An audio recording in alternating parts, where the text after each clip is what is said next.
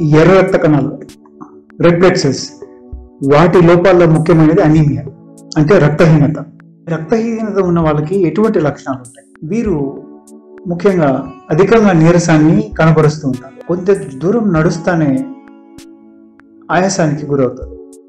ఇంకా వారిని చూసినట్లయితే పేలర్ అంటాం. అంటే వారి శరీరం పాలిపోయి కనపడుతుంది. ఇంకా అనూహ్యమైన టేస్ట్ చేంజెస్ వీళ్ళలో చూస్తాం. అంటే తినకూడని పదార్థాలు తినాలనిపించడం. బలపాలని చాక్ పీసుల్ని మట్టిని ఇలా తినాలనిపించడం. రక్తహీనత తీవ్రత బట్టి ఒక్కొక్కరిలో ఒక్కొక్క రకంగా ఉంటుంది.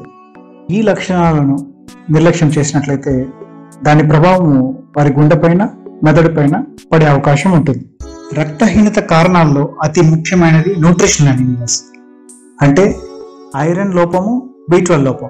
వీటి వల్ల వచ్చే రక్తహీనతని చాలా సాధారణంగా చూసుకుంటాం ఇందులో ముఖ్యంగా మీరు తెలుసుకోవాల్సింది బి అనే వైటమిన్ ఓన్లీ నాన్ వెజిటేరియన్ ఫుడ్లోనే ఉంటుంది. ఇది వెజిటేబుల్స్లో లభించదు. ప్యూర్ వెజిటేరియన్స్లో ఈ వైటమిన్ లోపాన్ని తద్వారా రక్తహీనతని చూస్తూ ఉంటాం.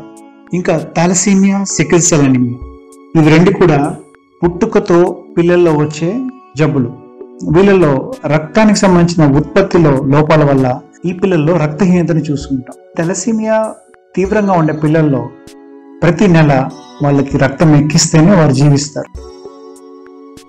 ఇంకా పచ్చ కామర్లతో వచ్చే రక్తహీనత అనేవి కూడా ఒక రకం ఉన్నాయి వాటిని హీమోలైటిక్ అనీమియాస్ అంటాం వీటిలో అనేక కారణాలు ఉన్నాయి. ఇవి ఏ వయసులో వారిలైనా రావచ్చు. ఇంకా ఏ ప్లాస్టిక్ అనీమియా?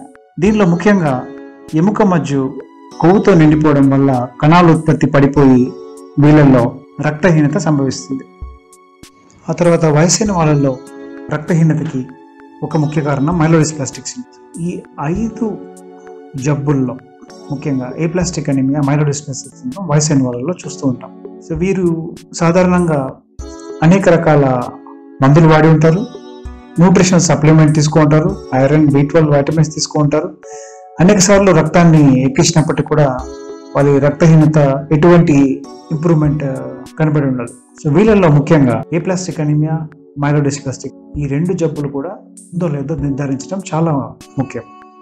రక్త హీనతే కాకుండా రక్తం అధికంగా ఉండడం.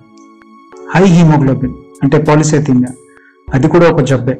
ఈ జబ్బులో ముఖ్యంగా రక్తం అధికం అవడం వల్ల రక్త ప్రవాహం ఎక్కువగా జరిగి వీళ్ళల్లో అధికంగా క్లాట్ అవడం జరుగుతుంది. వీళ్ళు సాధారణంగా స్ట్రోక్ కానీ హార్ట్ అటాక్ కానీ కాళ్ళల్లో బ్లడ్ క్లాట్ అవడం కానీ అంటే డీప్ వెయిన్ ఫామ్ ఈ లక్షణాలతో హాస్పిటల్కి వస్తూ ఉంటారు.